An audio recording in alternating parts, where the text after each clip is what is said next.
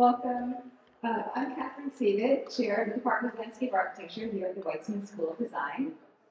I'm very happy to launch the first of our department's Spring 2024 Now Landscape lecture series, and also welcome some of our board members from the McHarg Center who are here this evening, Sissy Carroll. Uh, it's wonderful to be here together in this quirky Fisher Fine Arts Library, constructed in the 1880s from Philadelphia to Rayne, sandstone, brick, and terracotta. And with that landscape in mind, I'll start with our land acknowledgement. We acknowledge that the University of Pennsylvania is situated upon the ancestral homeland and territory of the Lenni Lenape peoples. As members of an educational community, we are obligated to know the histories of dispossession that have allowed the University of Pennsylvania to grow and thrive on this vibrant terrain. As designers and thinkers, we endeavor to build in ways that lead toward justice, and we are committed to working to dismantle the ongoing consequences of settler colonialism. This spring's Now Landscape lecture series has been curated by our very own Chris Pevzner, who serves as assistant professor of landscape architecture. He's also a faculty fellow here at the Kleinman Center for Energy Policy. Thanks to Nick's curation, the three speakers whom you'll meet across the course of the spring semester will each explore, both peripherally and directly, notions of energy futures. This topic is an apt one for Nick, whose research moves fluidly across ecological systems, energy landscapes, and climate policy. He's indeed the design mind we need as we move toward a just and inclusive energy transition. Nick's teaching and research explores options uh, and opportunities for decarbonization across multiple sectors. He investigates the aspects of abstract climate policy and seeks to spatialize the physical and social implications of that policy in our built environment. Meanwhile, considering the necessary practices and certainly the new behaviors that will be necessary for spatial justice. Energy Futures, with Nick's vibrant colors and unmistakable curatorial touch, suggests an optimistic projection forward a hopeful and necessary future that moves beyond the ghosts of our energy pasts, coal, petroleum, and gas extraction and consumption, with the palpable impact of these practices on our atmosphere and climate. And we must reckon not only with the climate impacts of the so-called Great Acceleration, that massive consumption of fossil fuels since the 1950s, but also its entangled Great Divergence, a term coined by the writer Timothy Noah, the widening chasm inequality between the super rich and the ultra poor. These grand challenges will require many minds and diverse input and new tools to gather and engage collective minds. We're so delighted to welcome Janette Kim this evening to expand upon this idea of tools. Janette is joining us from San Francisco, where she's an associate professor of architecture at the California College of Arts. She's co-author of the Underdome Guide to Energy Reform, and co-creator of the brilliant Safari 7 podcast tours. And though I don't think I've seen you as we have been chatting since uh, the very fun Underdome book launch at Van uh, many years back, I literally think of you every time I'm on the 7 train to Queens. I'm not kidding. Um, so if you don't know Safari 7, look that one up and, and download. So thanks again to everyone for joining us this evening, and a huge welcome to Janette. I'd like to now invite Pevzner to the podium to properly introduce us to Professor Janette Kim. Thanks, everyone. Thanks so much, Catherine. Um, so as part of this spring lecture series, uh, Catherine had asked me if there was an overarching theme that tied all three of our speakers together this semester. And I thought about it. The work of the three speakers who are coming um, for the spring series and across topics of infrastructure and energy transitions, decarbonization, climate adaptation, community empowerment, and various styles of projective design and experimentation. So we could, we could call the spring lecture series any one of those things, but somehow I kept coming back to these two words. And so while the theme title of the overall lecture series is not important at all, um, I quite like it because it resonates, as Catherine said, um, with some of the topics that I enjoy working on and teaching about, energy and futures, um, in search of design strategies for coping with our climate crisis. And as the residents um, of our speakers work um, with these topics, uh, their responses to our climate crisis through design of energy transitions and other infrastructures, you know, the various experiments in projective imagination, um, featuring other experiments. This name seems like maybe it's an Act One. But while the focus of the research by Janette Kim, tonight's speaker, tackles other gnarly urban systems besides energy, perhaps I was also subconsciously influenced by the book that Catherine mentioned, the, um, the Underdome Guide to Energy Reform, which sits right near my desk, a book that Janette Kim um, had co-authored back in 2015. And so in the Underdome Guide, Janette offered us a whole suite of tools for reconfiguring our energy system, and at the same time, the political organization of our cities and neighborhoods. Carefully curated, precisely illustrated, this collection of tools ran the gamut. Some were historical, some aspirational, some polemical. But together, it gathered examples of how architecture and infrastructure play more than merely technical roles in this transition, always coming back to ways that design can influence social, political, and institutional dynamics, always back to power and politics. We can see these themes as well in her climate change board games, such as the game Janette developed for the Resilient by Design Bay Area Challenge, which curated um, a game designed to bring people together to engage in collective decision making around climate risk. All of these projects, projects espouse traits that reoccur throughout her work toolkits, strategies, participatory games, partnerships with community based organizations and municipal agencies to realize a more equitable redistribution of land and resources. Her experimental visions and interactive processes are subversively radical in the way the rules are written in order to push back on the systems of privatization, profit, and disempowerment that have created the precarious conditions that many communities find themselves in. Besides co-directing the Urban Works Agency at California College of the Arts, where she is associate professor, and running her design firm, All of the Above, where she is the founding principal, Janette has written and edited, been awarded an Emerging Voices Award by the Architecture League in New York, been exhibited by the Yerba Buena Center for the Arts at the Oslo Architecture Triennale, and by the um, MTA in New York, and has been featured on the Brian Lehrer Show, in Fast Company, and Metropolis Magazine. And so, coming in from Oakland, California, as our first lecturer in the LARC Energy slash Futures Spring Lecture Series, Please join me in giving a big round of welcome to our speaker, Janette.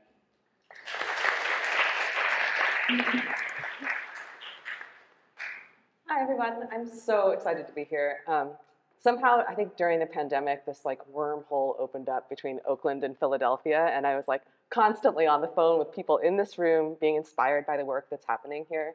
And I think we really have in common this interest in working on you know, the way that designers can have activist and um, kind of grounded impacts through the kind of gritty workings of, you know, decision making, um, policy decisions, and so on. So I think together we will leave no spreadsheet unturned and um, kind of work together. so um, my talk today is called um, From Public Engagement to Collective Power. Um, and you know, I think for many architects and urban designers, the call for public engagement has prompted town hall meetings, workshops, and many other techniques to try to fold public opinion into design work. But this work has also rightly been criticized for extracting knowledge and consent from communities without meaningfully sharing power or altering more systemic roots of injustice. Um, this is especially concerning in the face of climate change, which exaggerates longstanding inequities across race and class. So I would like to advocate for a shift from the term public engagement to collective power. Um, my goal is to empower communities to realize a more equitable redistribution of land, resources, and risk. So how does one do this? Um, I see a particular need to translate between the spatial and representational techniques that architects work on um, and um, the decision-making procedures in urban governance and the ecological and economic systems that drive them. And I think that doing this requires that architects focus on process as much as product, systems as well as buildings, and across disciplines um, as well as within the field. So over the past 20 years, um, and you've seen a, seen a list of projects here, um, I've assembled collaborations um, that I've really enjoyed working with, um, both within the field and across disciplines that involve housing policy, filmmaking, um, and perhaps most importantly, government agencies and community-based organizations that I've described here. Um, so currently this work takes, these, takes form in these two platforms that um, Nick mentioned. Um, one is that I run research and speculative projects through a research lab um, at uh, California College of the Arts um, called Urban Works Agency. And I co-direct this with um, Antje Steinmuller and Neeraj Bhatia, along with associate directors Chris Roach and Julia Grinkrug, and many enormously thoughtful uh, student research assistants at CCA. Um, secondly, I run commissioned design work um, through my private practice, which is called All of the Above. Um, today, I'm going to focus um, almost entirely on urban works, uh, urban works projects, but I'll give you like a quick glimpse of a recent project um, that I did, um, which is a, a design for a hotel in Sichuan, China, in partnership with Brett Snyder and Irene Cheng. Across all of these different definitions of my practice, my work translates between architecture and the politics of ecology. And this idea of translation is important to me because I think it engages and upholds the voices of all people who shape urban environments. Um, I've also been thinking about this idea of translation in relationship to my background as the child of Korean and Japanese immigrants to the US. And so I think, like many people in the room, um, I've kind of always been translating across cultures, right? And continue to do so with my partners. So today I'd like to share with you a couple of projects that demonstrate two particular techniques of translation. Um, some are decision-making tools which enable urban constituents to imagine potential action and reach consensus. Others are design protocols, which shape buildings and landscapes to influence larger systems, such as wealth creation and climate adaptation. So let's start with decision-making tools. And with a board game um, I designed called In It Together that Nick mentioned earlier.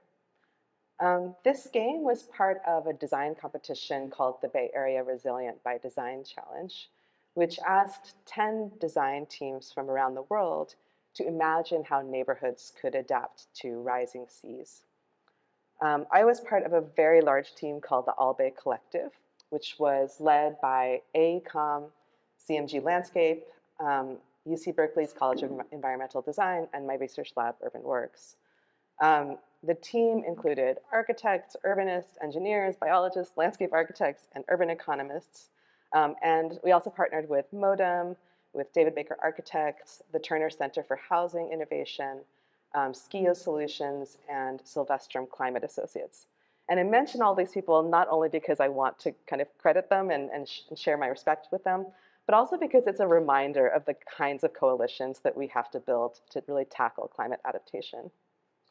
Um, so we focused on the San Leandro Bay, which sits between the city of Oakland, which you can see on the right here, the Oakland Airport in the foreground, and an island city called Alameda. Um, and here, um, oh, did I miss something? Huh, that's strange. Sorry, I'm missing some slides. Anyway, um, here climate risk kind of extends across the neighborhood um, and um, intersects with a very deep legacy of injustice. Um, so we see here the history of the exodus of manufacturing jobs, redlining, the demolition of public housing, and predatory lending practices, which have systematically prevented its mostly Black and Latinx residents from instituting wealth creation and cultural continuity. Um, these pressures have only been accelerated by the surge in Bay Area housing costs and the departure of three professional sports teams from this kind of stadium complex here. Um, so in response, um, Oakland community groups have sought deep-seated change. Um, we formed partnerships with the community groups that you can see here, uh, which include the East Oakland Collective, the Oakland Climate Action Coalition, Planting Justice, and Repaired Nations, as well as city and state agencies um, such as the City of Oakland, East Bay Regional Parks District, and BART. Sorry for so much listing, um, but it is important to mention them. Um, so you know, I think some of our partners were really ready and eager for shovel-ready designs, while others saw the idea of resilience as a kind of smokescreen for gentrification.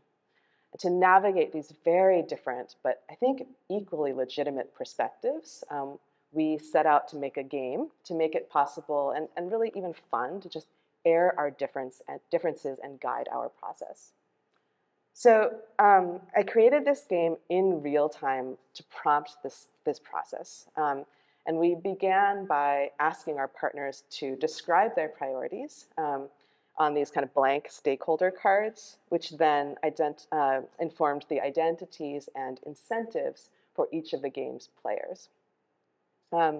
We then came back to the next meeting with a series of adaptation pieces um, and this included uh, flood mitigation strategies like a tidal pond or a living levee, as well as strategies for affordable housing, for example, um, or for a community land, uh, such as a community land trust.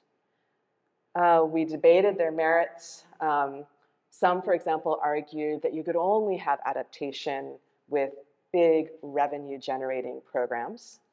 Others argued that wealth creation needed to be held within the hands of existing residents um, by, for example, uh, cultivating collectively owned land or worker owned cooperatives. So, with this feedback, I finalized the game board and the rules of the game. And I've since played it over 20 times at community meetings with our partners, at a BART station, um, with students, at planning conferences, and many other places. So I'll give you a taste of how it works, um, and I'll use a more recent kind of digital version of the game to do that. Um, the game simulates rising seas at the center of this kind of fictional city. Um, and there are six players um, who have some unique and some overlapping goals. Um, uh, they accomplish these goals by placing these adaptation tiles down on the board. Um, and then both the goals and the tiles are color coded. So for example, the tenant player is primarily focused on sociability and equity in pink and red. The developer player, as you can imagine, is focused on money, which happens in orange. Um, the homeowners are kind of mixed between profit and sociability. The animal is entirely focused on environment, and the mayor has a mixed set of goals with a slight tendency to favor profit. um, and then the players can decide at any point whether they would prefer to play competitively or cooperatively. I've seen a very wide range of strategies emerge. Um, in this case, the mayor squeezed revenue from a unicorn tech campus downtown um, to pay for waterproofing in other locations. That's the kind of big development version. Uh, in another, the developer relocated housing downtown um, thanks to a kind of unlikely alliance with the animal player who was eager to reclaim that former land as a wetland. Um, in a third case um, that I think most closely approximated our East Oakland partners' goals, the tenant player convinced the homeowner to pump out floodwater just long enough to build a community-owned solar farm that in turn paid, in turn paid for larger scale adaptation um, incrementally. Um, in each case, I think the players could kind of roll the dice, see the floods rise, and test how their various proposals um, fared in, in kind of uncertain futures. So throughout the challenge process, um, the game was especially useful at forging trust, even across stakeholders with long-standing tensions. Uh, we did find some areas of consensus um, around, for example, the importance of wetland restoration and the utility of community benefits districts, which would basically pull funding from future development and bring it into the hands of community members. Other debates remained live um, and really unresolvable. And I think the debates that were trickiest had to do with like community ownership of land, energy, and resource, like infrastructural resources. At the very least, though, the game allowed us to keep the debates live. You know, a, a challenge in a competition like this has a tendency to get people to kind of smooth over their differences to lead to a, a known result. But I think here it was useful to just keep the, the disagreements active. Um, Our partners also reported that the game helped them empathize with each other and kind of expand their own pre pre preconceptions of what was possible. So in it together, especially focused on this idea of negotiating across differences. Um, I'd also like to share another climate change board game that I designed that I think asks even bigger questions about like how economies and relationships are formed in cities. And this game is called Bartertown. Um, it was commissioned by a state agency called the Bay Area Conservation and Development Commission, or BCDC. Um, and they used this game um, to kind of facilitate conversation with their other uh, agency partners. Um, since the initial version was released, I've also created variations of the game, such as these alternate pieces for exhibition at the Yerba Buena Center for the Arts. Um, I made this human scale version that we played at the Housing the Human Festival in Berlin, and this floor version um, made for the Oslo Architecture Triennale that I now, I just like travel with this thing and play this game with people along the way. Um, okay, so Bartertown, is my sound okay? like something adjusted. Bartertown imagines a world without money. So players basically perform daily activities around the board. They might go host a radio show or babysit for a friend. But when the floods come, players can get isolated and stuck in different zones around the built, uh, board. And to resolve this, the players have a kind of limited number of infrastructure tiles that they can use to waterproof areas or to build bridges across the water. So the players kind of debate how they want to use these tiles. They can decide to work together or individually. It just kind of depends on how the play is going. Um, and to make this kind of series of discussions even more poignant, um, each player has a unique power. Um, there are five players, a developer, a designer, a nomad, caregiver, and a politician. So for example, the developer, who you can see here, has the power to seize buildings and um, charge other players to use them. The designer can draw new building envelopes around the board. Um, and the caregiver can give rides to other players and allow, allow other players to sleep in her home. um, in over 12 game events I've played so far, almost every player has won more than once, which I think suggests a surprising parity even among very different skills. Um, in one event, which you can see here, um, the architect team sold out their skills to the developer agreeing to expand that person's property into a mega zone that only the two of them could use. Um, but grassroots strategies win too. Um, one time the caregiver player won, um, even in fact by the biggest margin to date, um, by carrying the other players everywhere he traveled and collaborating with them along the way. Um, and in the most cooperative play yet, all players together um, uh, built a commune in the hill and then protected this little zone downtown and kind of went back and forth between the two. um, so architecturally, the game reveals how density, mixed use, and I think variously shaped enclosures can impact players' desires to work competitively or cooperatively. Um, and you know, I think ultimately Bartertown exists not necessarily to promote the idea of a barter society, but to reveal social dependencies that often get masked by our current economies. Um, so I think we currently assume that those with all the money have all the power, um, but Bartertown also re reveals that skills like generosity and flexibility can actually sort of hold their own even in the face of climate change. So here I'm reaching the end of my first section about decision-making tools. Um, I think these projects all, and I'm, I'm, putting Underdome in this category, and Safari 7 as well. Thank you for remembering the previous projects. Um, so I think all these projects build on the legacy of public engagement with their emphasis on approachability and play and inclusion. Um, but I also believe that they take a step further in a couple of key ways. Um, they acknowledge conflict and thus facilitate, I think, a more difficult but important form of consensus. They reserve a seat at the table for those with different kinds of expertise, not just to participate, but to govern. They translate across dis distinct urban systems. Um, I like to think of these games as a kind of cross between an architect's model, an economist's model, and an ecologist's model in the way that they simulate um, interactions across these systems. um, one of the biggest hurdles that I encountered in the RBD process was this kind of tendency to try to speak across mismatched languages. So, you know, people would be talking about efficiency or profit or performance and rights, but there's such a the, this mismatch between these languages had a tendency to always former the language of efficiency and profit over the other stuff. And I, I believe, um, and I have experienced, that these games bring these languages into comparison. I think carving out space for terms of justice and rights just as much as profit and efficiency.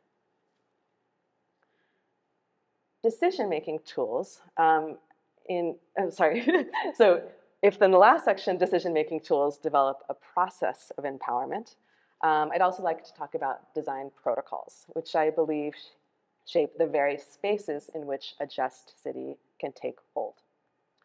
So I'll be returning to the Resilient by Design challenge, but now with a focus on our design proposal. Um, amidst, ah, this is where those slides went. so here you can see some of the flood risk of the area, um, some of the housing history of, of uh, deep East Oakland, and the kind of threats of gentrification to the area.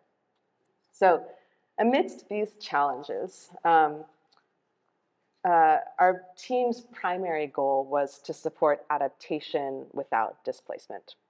Um, part of our proposal, which you can see here, was to widen the edges of the waterfront to accommodate floods and to stitch neighborhoods back to the shore.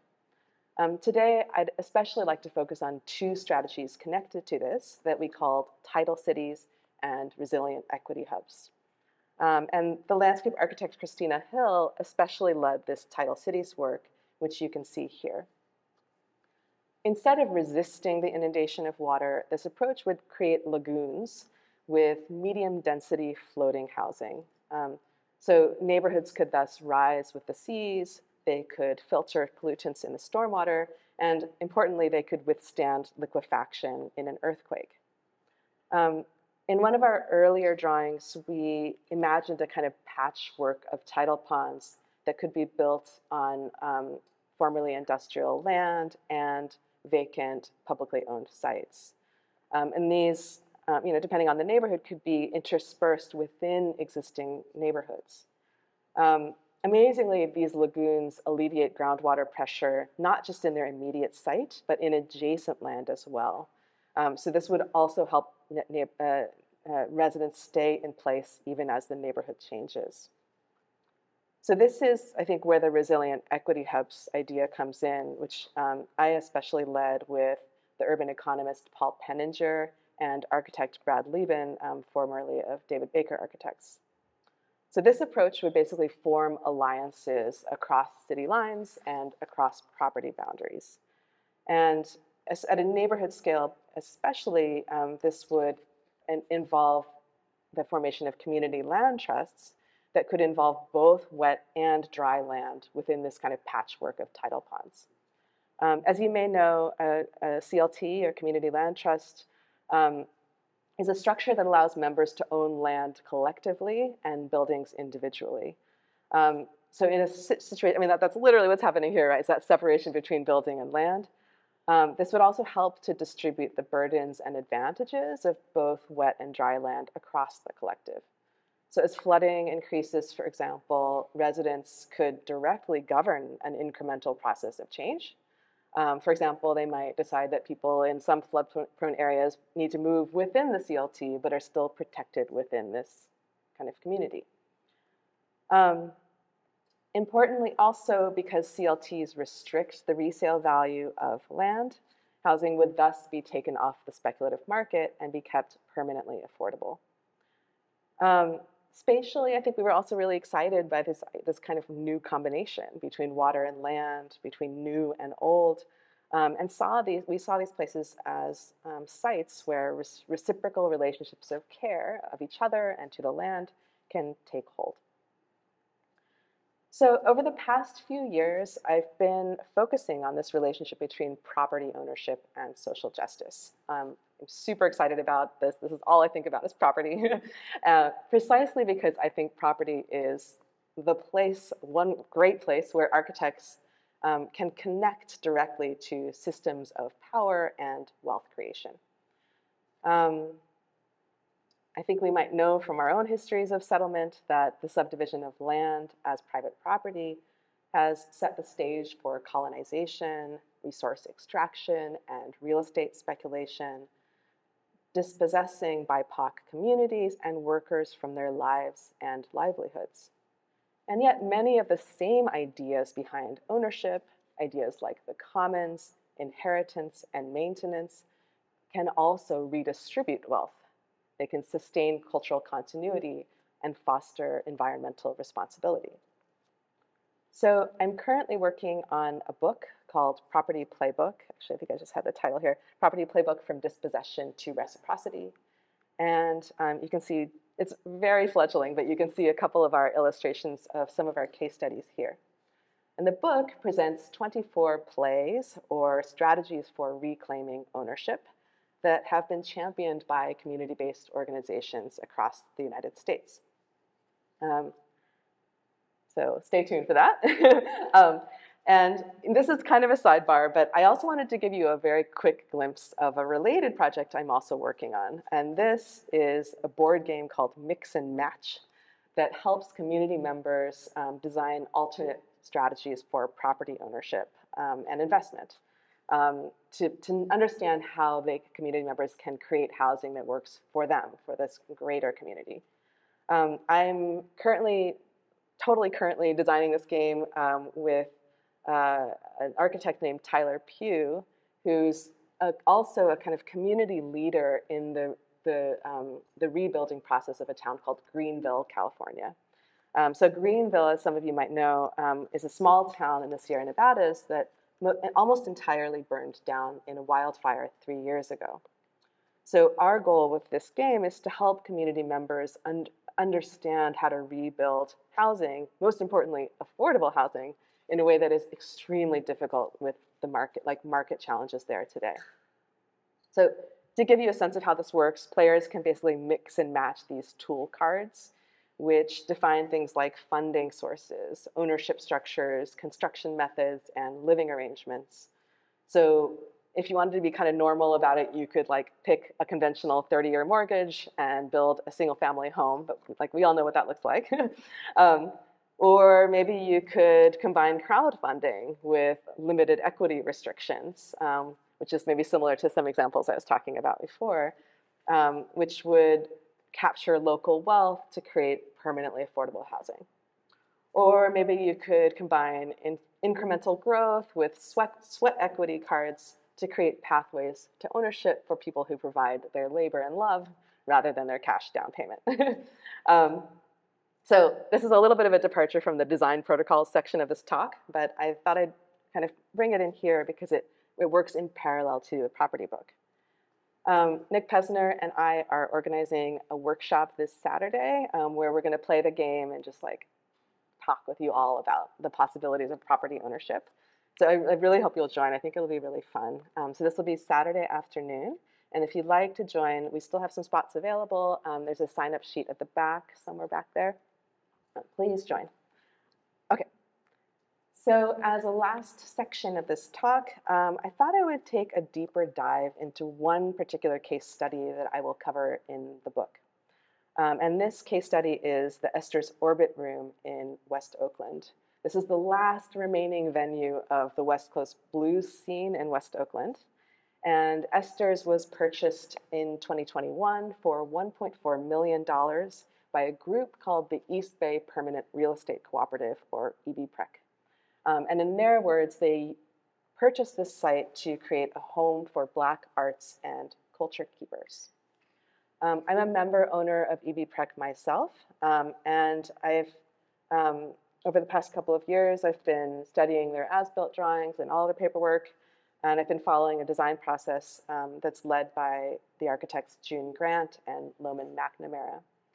Um, I published this this research in the anthropology journal Public Culture, and then I just exhibited some risographically printed drawings at the Seoul Biennial of Architecture and Urbanism this past September. So if you want to dig into this work, um, it's out there in, the, in those formats. Um, and my intention in studying this was to compare EBPREC's very inventive forms of ownership with the spatial arrangement of Esther's orbit room to basically better understand how buildings can play a role in supporting collective ownership. So the drawings begin with a look back at the property um, history and systems behind uh, Esther's own, like below Esther's own footprint. Um, this land, as you can see in some of these images here, was seized from its original occupants, the Lisjan Ohlone people, by Spanish colonizers. It was granted in 1820 to a soldier named Luis Miral, uh, Maria Peralta, who was praised for suppressing Ohlone uprisings at the Mission San Jose just to the south.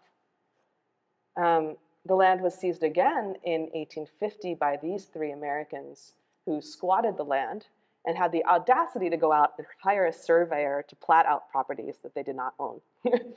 they sold subleases without the legal right to do so, but the city of Oakland eventually verified these claims, asserting that those who, quote unquote, improve the land's economic productivity should have the right to it. So I think Oakland's property lines, like many property lines, um, were really legitimized by force and by racially charged ideas of value as much as it was by systems of uh, legal and bureaucratic systems. Um, and I think it's important to remember how physical this work is. Um, property systems result not just from like drawing clean lot lines, but through the brutal erasure of Ohlone summer settlements and by the leveling of this wetland. So to counteract this, EBPREC purchased the orbit room to return it to BIPOC people whose lives and livelihoods have been extracted by property systems. So at the top of this drawing, you can see how E.B. Preck raised money from nonprofits and small contributions by local grassroots investors. Um, it then caps rents and resale values to take land permanently off the speculative market um, in other words, it basically combines features of crowdfunding with a community land trust. Um, and in this way, and it, it, kind of flips the Wall Street way of working, which is sort of suggested by the drawing, um, and is kind of redirecting wealth away from Wall Street back towards local capture. Both past and present, this property has been both a site of protection and expansion. Um, so in architectural terms, you could probably say that Esther's is both an enclave and a network. Um, so let's start with the network side of things. 70 years ago, Esther's was a node in, an, in a kind of local economy built around railroads and the Port of Oakland. This involved rooming houses, supper clubs, clubs, um, and even the very first African American labor union in the United States, um, the Brotherhood of Sleeping Car Porters, which was located just down the street from Esther's. Um, 7th Street especially supported BIPOC businesses who had been excluded from setting up shop in downtown Oakland. Um, and here we mapped some of the business names that we found in phone books dating back to the 1900s. Um, in the 60s, however, 7th Street struggled as deindustrialization, redlining, and urban renewal projects erased entire swaths of the neighborhood. Um, so you can see here a shift from the pink, um, which marks the 1950s footprints, to blue, which um, reflects the 2003 footprints. And this drawing was inspired by one done by Walter Hood in his book um, Urban Diaries. So Esther survived thanks to the stability offered by private property. Um, and in this sense, Esther's is kind of an enclave. It's a site of protection. Um, owning title to land allowed Esther Mabry, who you can see here, um, to sustain her club from 1959 until her death in 2010. um, Noni Session, who is the executive director of E.B. Preck, describes Esther's as a protected space where, quote, black and brown people can come without having to justify their presence, unquote. This kind of constant tension between protection and expansion, I think, is also visible in the architectural arrangement of the space. So Esther's is in fact made of four different properties that were connected together over the years. Um, these two buildings, for example, were especially conjoined in a way that engulfed formerly exterior spaces within. um, so here you can see the dining room that was added on at the back of the bar. Um, and here you can see um, through the wood siding what used to be an exterior um, alleyway, which has now become an interior hallway. Um, the, these kind of re-enclosures um, uh, started to kind of redirect circulation no longer from the sidewalk to the back of the lot and now more like side to side across the, the lot lines. This allowed Esther Mabry to multitask. she cooked breakfast, lunch, and dinner. She mixed cocktails. She hosted performers ranging from Etta James to MC Hammer. and I like to imagine, for example, how light from the disco ball in the bar would have kind of fallen onto the yellow laminate counters in the dining table in the back. And this is a kind of side by side adjacency in Esther's that I think is an especially good fit for EBPREC's own innovative govern governance structure.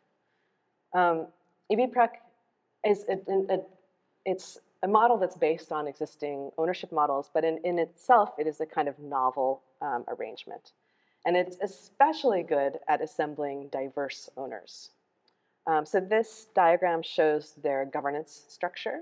Um, and in this bubble here, you see four types of owners that can participate in EBPREC. Um, to, and EBPREC set this up this way in order to kind of reverse profit motives and uphold local interests and kind of stave off the tendency for investors to get the upper hand. Okay, so the four kinds of owners are investor owners who contribute money, community owners who contribute local knowledge, resident owners who live there and make this space happen, and staff owners who contribute their labor. Um, no matter how much you contribute or what you contribute, every member has one vote um, to kind of uh, reinforce their power.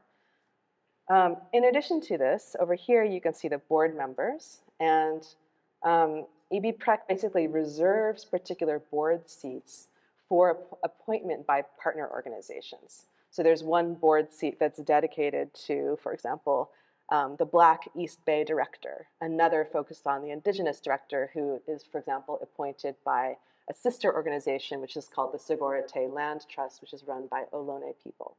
So there's a kind of reservation of power among these um, kind of uh, like sister groups. Um, Okay, so what does this mean? This side-by-side -side aggregation um, is one that we also see spatially. So um, the architect Lowen McNamara made this design for E.B. Preck, which would basically demolish the central structure, which had been for a long time a storehouse and in fact has a lot of structural problems. Um, and then they're going to replace that central building with this kind of open breezeway where now activities, labor, and resources can pool to, together among owners. Um, at Esther's, um, especially EBPREC expects that profit from this bar, which is a for-profit business, um, can subsidize other co-owners on the site, which include like a movement studio, um, a gallery, and artist housing upstairs. Um, EBPREC will basically renovate Esther's orbit room to a kind of warm shell level of completion, um, which means that it's just like uh, uh, uh, uh um, refined enough um, so that the um, tenants can come in and build out and change the space over time without having to worry about plumbing and energy and things like that. Um, so here, beneath this kind of singular gray colored set of asphalt shingles and wood siding, we see, I think, kind of one building, right? One unified enclave, but we also see a kind of village of partners. We also see a porous landscape into this network of West Oakland. And what I love about this project, I think, is that it's, it's all of these things at once. Um, uh, this kind of coincidence of a network and an, and an enclave within the same space is important because it gives its owners the ability to negotiate and adapt in relationship to these different spatial conditions. Um, the, this community of owners can decide for themselves when and where they want to reach out, and when and where they want to enclose and retreat. So I've called this work Design Protocols to emphasize that design shapes rituals and procedures as well as the literal physical spaces themselves. Um, these spaces define intimate social experiences in a way that can impact much larger ecological and economic systems, such as self-governance, wealth creation, climate adaptation, and resource access. So I began this talk with a critique of public engagement as something that struggles to alter the systemic roots of injustice. And I hope that you can see how these decision-making tools make change possible and how design protocols can make change inhabitable. Um, in this way, I hope that design can play one small part um, in this process of amplifying collective power. Thank you.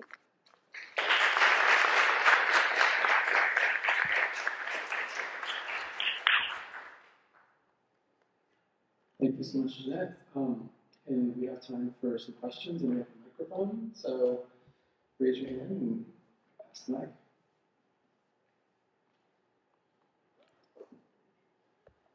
Hi, Janette. Thank you um, so much for all your work. My name is Gabe. Um, I'm a first year here, um, and I, I just wanted to ask a question because, like, how do you see making light of systems so that can be sometimes violent through a game can really impact the result. And like, I'm not trying to say that that's a bad thing. I see it as a freeing thing, but I'm just interested to hear your response to that.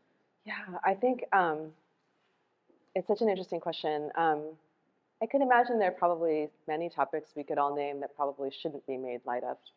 But I do find that within my experience, the people who play my games are just like relieved to have a chance to talk frankly about things that are so repressed in a way. And so I've been to a number, I'm sure we've all been, to a number of community meetings that are either like overly polite or overly contentious, right? And it's like neither is very helpful. And it, the, the, overly polite ones is like, ah, like we don't even know how to talk about our disagreements because we're so afraid of, of isolating ourselves and, and horrifying others. and, and then on the other side, right, the kind of um, oppositional approaches kind of leave people st equally stranded is I find that the games make it easier to just like laugh a bit and, and be able to just come out and be like, you know what, we disagree and it's okay, you know? Um, or in many cases, people will role play, so they'll, they'll, they'll be asked to play something they're, somebody they're not, and so it's, it makes it easier to kind of imagine the, the incentives and motivations of this character and then talk about those differences with others. So I, I find that in like, at least in the, the urban disagreement context, it's been enormously helpful. Thanks for your question.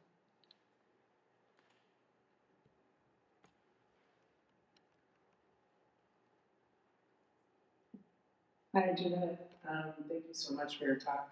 I have a, question about um, the word coalition. Um, I think it's just uh, the coalition building is something I've heard in a lot of contexts. And um, so I'm wondering for you, like when you use the word coalition, uh, like when when you say like, okay, I'm building coalitions, what does that mean for you and what does that mean for the people you're working with?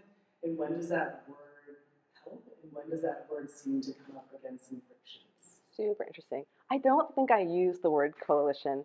I think I use the word consensus perhaps more often. Um, uh, totally correct me.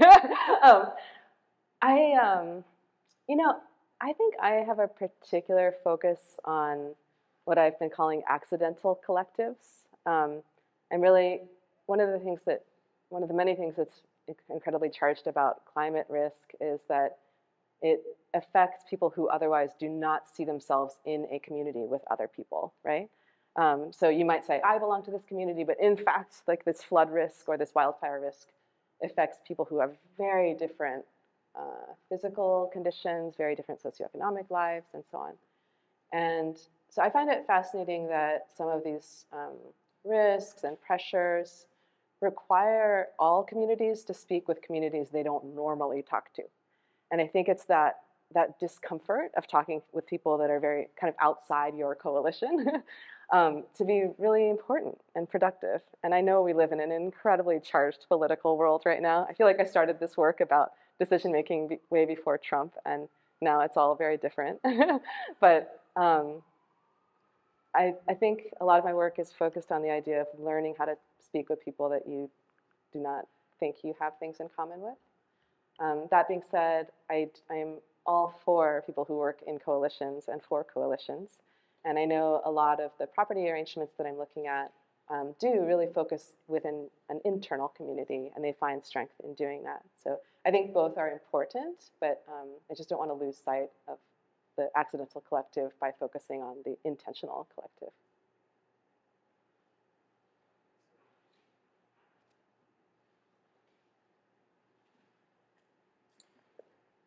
Thank you so much. Um, my name is Kina, and um, I'm just curious about um, kind of building on what Kelvin was just asking. How, um, when you were working on the um, the Green Greenville project, believe, um, how that sort of played out in terms of um, being in a more rural area, more remote area, Yeah. and this whole notion of collective power or co- coalition building or consensus building, whatever sort of descriptors we want to assign to it. Yeah. That's that's one discussion, but then ultimately I'm very curious about sort of um, building those bridges um, across different areas of densification with different goals and different um, sort of socioeconomic or sociocultural challenges. Absolutely.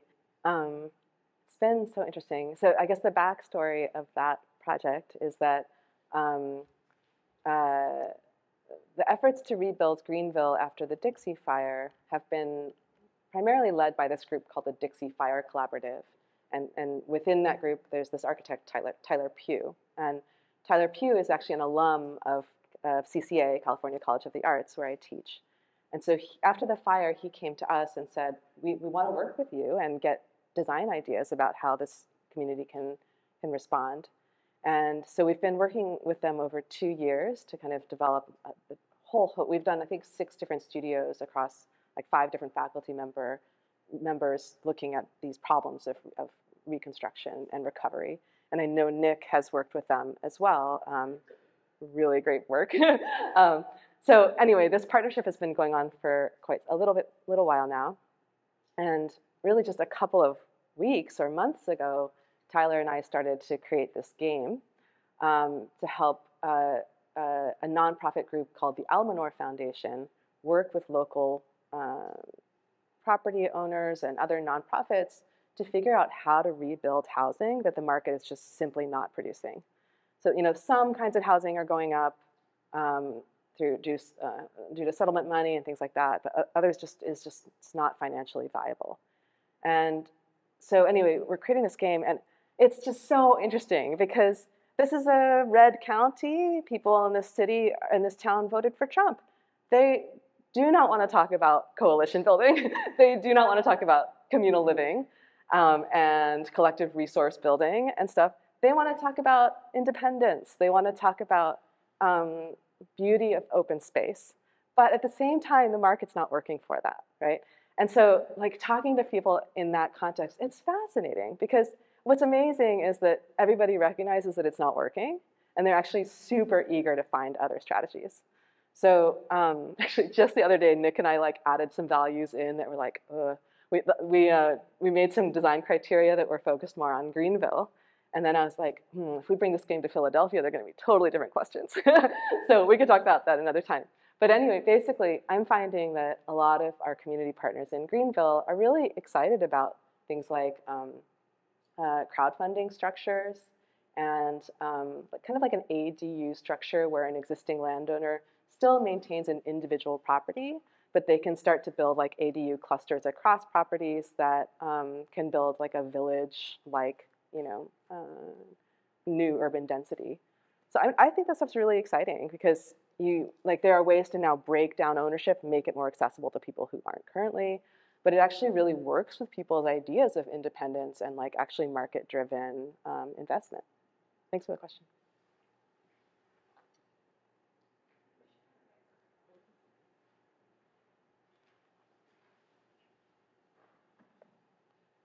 Hi, Judah. Um, Sorry, I was a little late to the party, so you might have covered this. But uh, to what degree uh, are the games you conceived of, I mean, I understand that they're to the end of uh, settling on certain disposition or creation of assets, resources. To what degree are they heuristic for ongoing or long-term stewardship of the same? And how does that kind of factor, you know, how does that extend over time? And, you know, I realize that this is kind of methodology people talk together and, and, some sort of agreement, that was there latent in it sort of different approaches to long-term stewardship, I guess is the question. Yeah, that's a great question. By the way, it's really nice to meet you. We've had many Zoom meetings, and it's really nice to meet you in person. um, um, maybe there are a couple ways to answer that. One is within the space of the game itself. Um, so, I mean, games are just so good at playing out chance, right? So, um, uh, one thing we do is like think through the cycles of a game in relationship to actual physical time. Um, and with climate change, it's almost like you could have one round that's like six months, the second round could be five years later, third round could be like 20 years later. It's pretty cool. Like you, so you can use the game to like kind of scope out like possible futures. Um, and for example, if within it together, um, um, I worked with a, a, um, a, climate engineer to just look through the odds of like how much the seas might rise and then tie that to the time cycles of the game. So in that way, it's like we're kind of previewing that um, that long-term maintenance, that long-term stewardship. Um, another way, though, maybe to answer the question is that my biggest hope for the games is that they can become embedded into a long-term decision-making process that um, communities are part of. So if we tend to think of community process as like we hold a public meeting and people come draw on whiteboards and then and then the design happens and people go home, you know, um, I would love to see a kind of process where people who have all different kinds of expertise can be a continual part of a decision-making process that community-based organizations hold, right? So in Deep East Oakland, after the challenge, one of our community partners, which is called the East Oakland Collective, um, got a really major state grant to do a community-driven resilience planning process. And then, um, and so this was like I think, a much more grassroots governance process than I think the challenge allowed for. And they're continuing to get funding to kind of keep updating this process. So I say that to reference the idea that um, grassroots power can be instituted in long-term ways, exactly like Jay is doing. um, and that then, if that is true, then the question becomes like, how do people with just like no knowledge of climate science, but tons of knowledge of community power enter into the conversation. And so my hope is that the games will keep playing a role in like inviting people in. And then you could be like, oh, I played that three years ago. You know, let's let's play it again now with new variables on the table.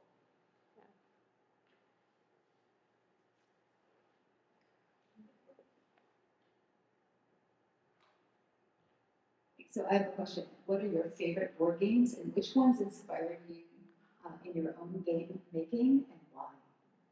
I have to admit that I am not a huge board game player. I like a lot, So, um, but I'm very influenced by other board games that architects have made. Um, and so.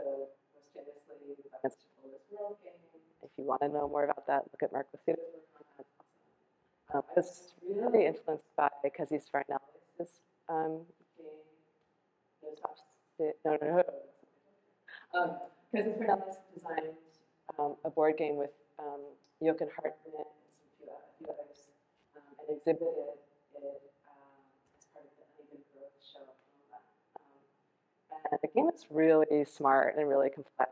And um, you can came in and it with my students. I, I taught at Columbia for many years, so we played the game there together, and um, I just got very influenced by that. And started making games with students and saw it as a tool that I think is useful for all designers, um, but in a way that is, I think, a lot more fun than I've seen scenario planning to be.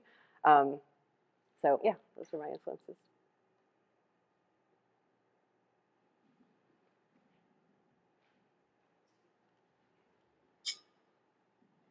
I also have a question about the game. So my initial question is, who is the players? Who are the players, and how did you recruit them to play the game?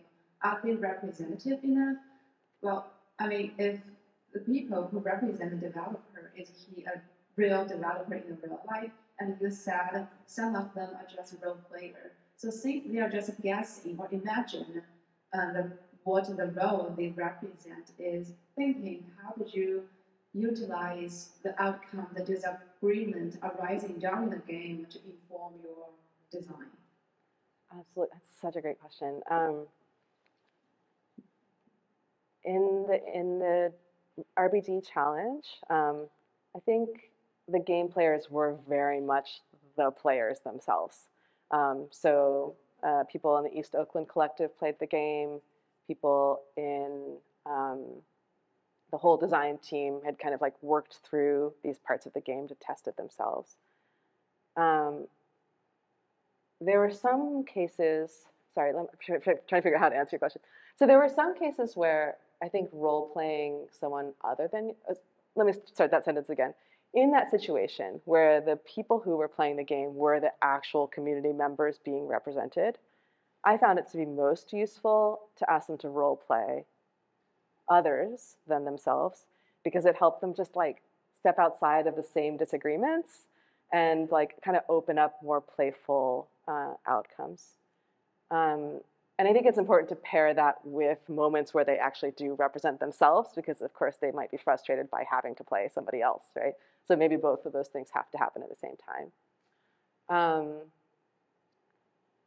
there were also moments where, you know, it's funny, like, I think you're supposed to come out here and say, the, the game was really useful because it got community members to think again.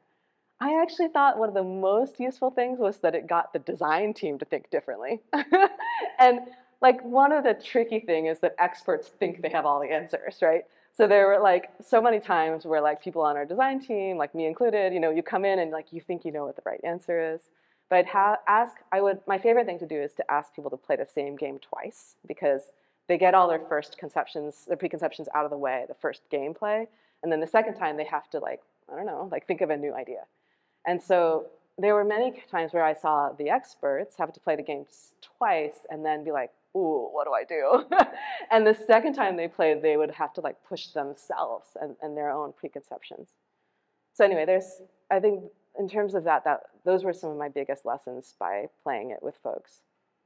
Um, I've also learned many other things, like I've played games, like Bartertown I've played in various cities around the US, in Berlin, in Oslo, uh, in, in the UK, and I have very much seen a lot of cultural differences in different places. And it's like I went in, I'm sorry, these are all really stereotypes, but like in Oslo, people were so communally driven. They were so interested in collective rights.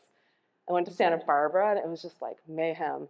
and that was the developer designer partnership.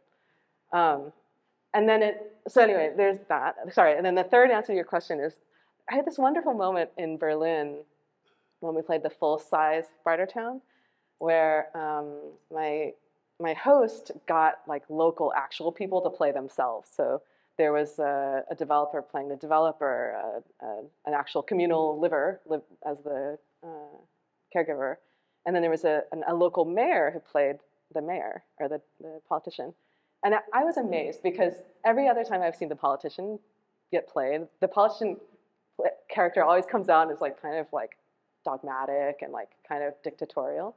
But this person who was the mayor and I was actually playing the politician was like everything but. He like barely said anything and he was like constantly listening to people and like being like tying that person to that person and it just gave me so much respect for the art of governance actually. But anyway, thanks for your question.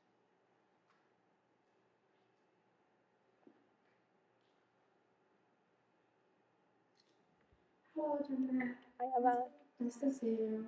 Um, I have a, I'm from Historic Preservation Department, I'm just so interested in your presentation. Thank you. And I have a questions about game as well. Um, as you said that, uh, what, what do you think about design games? Um, well, was, that means we need to design rules and design character and design um, character's agenda. Have you ever noticed any designer bias that inbuilt in designer's role that affects you how do you design characters and how do you design the, the rules, and does that affects the result of the game?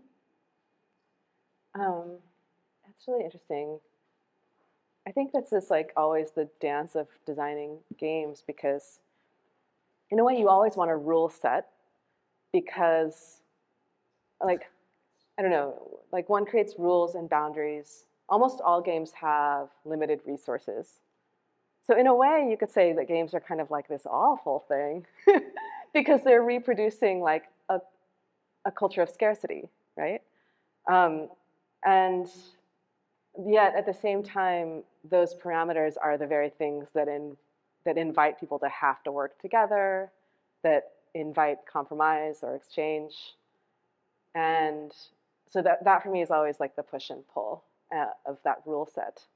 And so, anyway, I think what I try to do with that, I kind of always have that in the back of my mind. And then when I design a game, I'll often try to design the constraints based on what I think cities have. Like, if cities have constraints of tax income and times time scales and um, the, you know just how hard it is to get something built, uh, I try to reflect those realities. But then I also just try to pick at like what are those terms of scarcity that are so annoying that we shouldn't take for granted, you know? And so I think that for me, for example, um, Bartertown originally started without the individual character uh, identities, the powers. And I started to feel frustrated because I felt like the game was too reflective of the constrained world we lived in.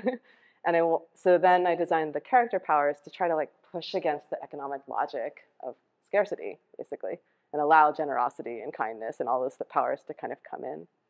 So I hope I'm answering your question. Um, Yes, you answered my question. Because while you were answering, answering my questions, I started to realize that um, the process of playing, the process of playing games and um, making different characters and community members play different roles, I think that's that's I guess more valuable than when I was asking because I was more thinking about the result, like what kind of result we're getting and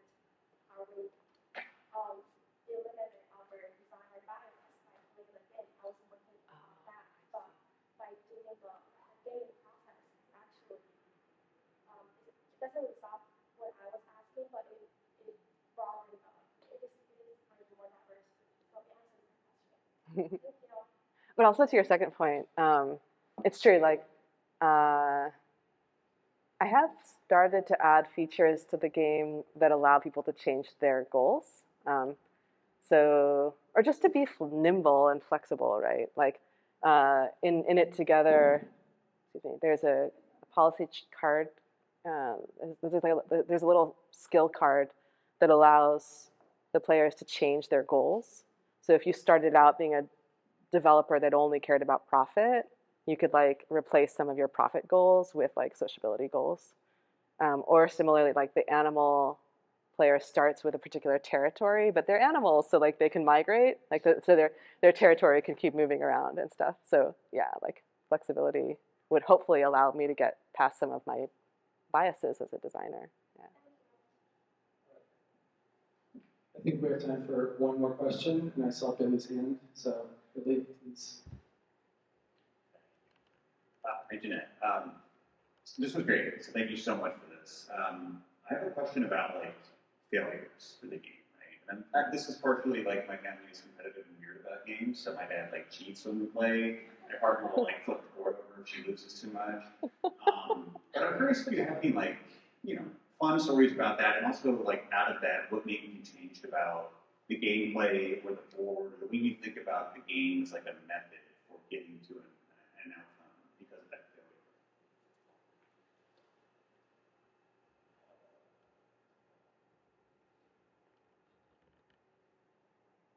Ah, that's a hard one. Um, no one has flipped over the board. Um, I guess I don't know if anyone has cheated. Um, hmm. It's okay if the answer no. Like everyone feels much nicer than my family. I don't know. I think Well, I have a friend who's a board game designer, um, who's like a true actual board game designer who makes, you know, games that go to market for like holiday presents for families, you know. So he's someone who, in other words, my games are more, educational. They're a bit more about like testing the concepts rather than being able to be played 200 times and still be fun on the 200th time. So that friend, um, whenever he plays my games, he like imme- immediately breaks them, um, and he'll like find the loopholes or he'll find points of scarcity and just like totally exploit them. Like in Bartertown, there are only three stores, and like everybody needs the stores. And so when he was the developer, he just bought up all the stores, and then, and so it's just things like that where I'm like, oh god, like I didn't see that coming, and but that's not exactly failure. It's more just like he's understanding the logical loopholes of the thing. Um, if there are kind maybe a more cataclysmic form of failure to me would be that it uh, maybe formed tension in, in a room that where we didn't want more attention. That would that to me I would consider that to be a, a failure. Um, luckily, I have never encountered that. Um, oh, I did. I was at one community event where like some people were standing on the side, and, and I was like, "What are you doing?" And they're like, "I don't like games," but I got them to join. I think they had fun. Thank you for your tough question. Thank you, everyone. Uh, wonderful questions. Um, it's also reminding me that uh, in the set of uh, fire studios that Janette and I have been kind of um, handshaking off and handing off to one another between CCA and Penn. Uh, one of the final outcomes of this past um, spring semester was a board game designed by Oliver, Kaz, and Elliot um, for Really? forest policy and Oh. forest thinning cool. to educate people about wildfires. So I think Does it have trees in it? Absolutely. and small little skitter logos. Yeah. It's awesome. Um, so the, the gospel goes forth. So uh, I believe there's a, a reception downstairs, so everyone should come have a drink and some bites. Um, and I hope uh, we have spots for about, you know, 10 to Yeah. 15 people. Sign up. So whoever signs up first um, and wants to come on Saturday, 2 to 4, to play this beta version of uh, Mix and Match will be in the lower gallery. And uh, I hope uh, you'll all join me in giving a big uh, thank you again to Janette